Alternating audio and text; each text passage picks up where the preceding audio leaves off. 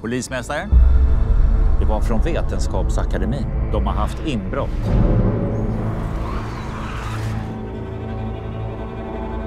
Det här påminner ju om Lili Ragnarssons dagar. Det finns en tjuv i stan som härmar dig. Det är ingenting för två hobbydetektiver. Gå inte nära den där skorpionen. Det är inte bra. Den är vaken hela natten. Den är bra på att gömma sig. Den attackerar blixtsnabbt. Förlåt. Serietjuv är inte bara någon som gör fler och fler brott.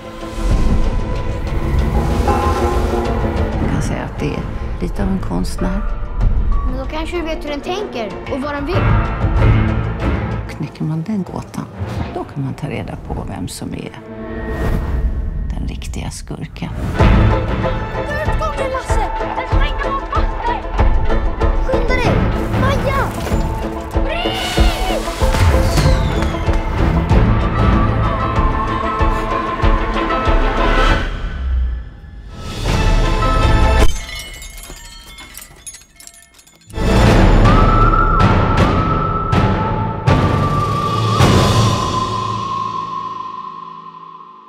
Välkommen, välkommen!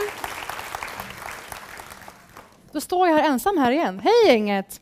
Tina Matskic, välkommen. Varsågod. Du debuterar som långfilmsregissör och ligger bakom massiva barnsuccén Sommarskuggan, som även jag har hört talas om. Då är det Wow. stort. Vad hade du för relation till Lasse-Majas innan? Nej, men alltså jag eh, missade ju tyvärr när Lasse-Maja kom för 20 år sedan. Då var jag tonåring och hade helt andra intressen. Eh, men, men jag har förstås följt det från sidan, har sett och fattat hur stort och viktigt det här är för kids.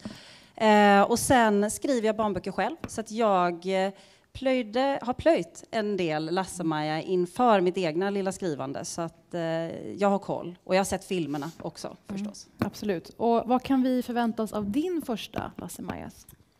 Att vi får se mycket av skurken, som ni fick se i trailern förstås. Jag gillar ju skurkar, det är ju väldigt kul. Ehm, men sen, och det var också en grej när jag gillade med manuset, att det fanns utrymme att gestalta hotet i mysteriet. Och sen, ehm, jag har gasat på så mycket jag kan på spänning. Rört mig så nära den här läskiga gränsen man får i Lasse-Maja-världen utan att så här, skrämma skiten ur kidsen, för det ska vi inte göra. Ehm, och sen humor. Herregud. Henrik, jag har med Henrik som polismästare, så att det är en väldigt rolig film också. Och sen ska jag också nämna musiken. Fenomenal musik gjord av Lisa Montan, så jag har ju tvingat stackars Henrik och hela casten att sjunga och dansa i slutet av varje inspelningsdag. Så att det har liksom... Stort Henrik! Ja, bjuder på Henrik, bra grejer. du är alltså polismästaren. Hur känns det att vara en del av Lasse-Maja, Lasse-Maja-universat? Kan man säga så? Det kan man säga. Eh, jättekul såklart. Eh, sett de tidigare filmerna, jag har barn själv. Eh, och att då få kliva in i den världen var ju jätteroligt. Och vad är det med just den här filmen då, som lockade? Eh, det är väl att den är, hur ska man säga, den är bredare på något sätt. Den är, det är mer humor, det är mer spänning, det är liksom film på riktigt. Så att det var väldigt kul och, och tryggt att få kli, liksom, kunna kliva in med en regissör som har en väldigt tydlig bild på vad hon vill. Produc- Jag var ny. Producenten ska också få uttala sig.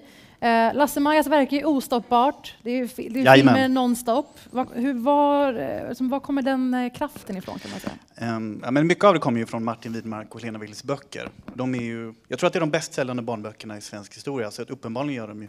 De skriver väldigt kluriga böcker som alla barn uppskattar. Men sen så tror jag att det är mångt och mycket eh, svensk biopubliks förtroende för SF Studios. Och Underbar! det tror jag. Och den här filmen ska ses på bio. Jag går på bio hörni. Den ser dyr ut, eller hur? Ser väldigt dyr ut. Tack så jättemycket. Lasse-Majas! Tack.